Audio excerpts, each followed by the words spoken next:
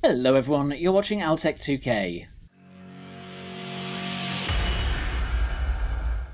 I'm here today to answer the question, is this the best budget bleed axe in Path of Exile currently? And before we move on, let me give you some context. Hidden deep within the patch notes for Ultimatum was a little note about removing the Elder Influence modifier that granted us 60% chance for bleeding inflicted with this weapon to deal 100% more damage. Instead, we gained up to 59% to damage over time multiplier for bleeding inflicted with this weapon.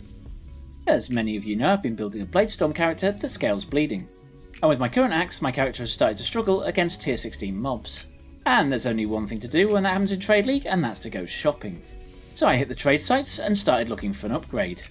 Everything was looking far too pricey for my budget. So I started fiddling with the settings to see if I could get a nicer price. And I came across an axe which has been in the game for an awfully long time.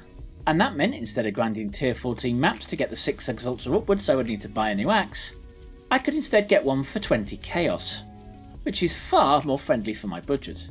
Now bear in mind you can get one of these axes starting at 2 chaos, so they are incredibly cheap.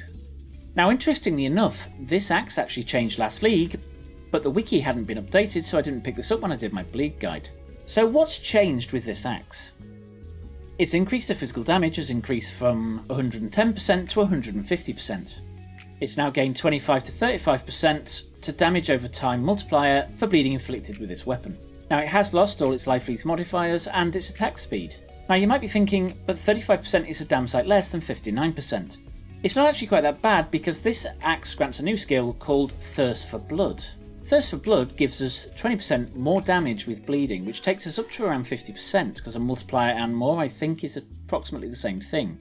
In addition to that, it grants us 5 beams, which attach to nearby enemies, and gives us 400 life per enemy affected. That's up to 2000 healing, which is absolutely obscene. So what's the catch? When you switch on Thirst for Blood, it will reserve 10% of your life, which in the case of this build is about 600 life, which isn't a small amount, but it's still very, very strong. There is one more catch, and that's that this axe has a mouth of its own. Yes, it talks. It's a bit weird, and it freaks you out a little bit at the beginning until you get used to it. I am used to it now, and it doesn't bother me quite so much as it did. It says things like this Die, die, die! And that really is the only drawbacks for this axe. It really is amazingly powerful for the cost of just 2 chaos. And I haven't actually told you what it is yet, but you've probably worked it out from the video. If you haven't, it is Jack the Axe. And it is truly, truly remarkable, and it will take you all the way to the end game. I haven't killed Sirus with it yet, but I'm pretty close to getting there, and based on the speed at which it kills Conquerors, I don't think Sirus is going to be an issue. The other thing to note is this character only has level 18 gems, not level 20 or 21, so it is a little bit weaker than it will be once it gets those gems. If you're interested in learning more about Path of Exile, you can check out my guides in this playlist up here, or if you want to watch my latest video, it's right there.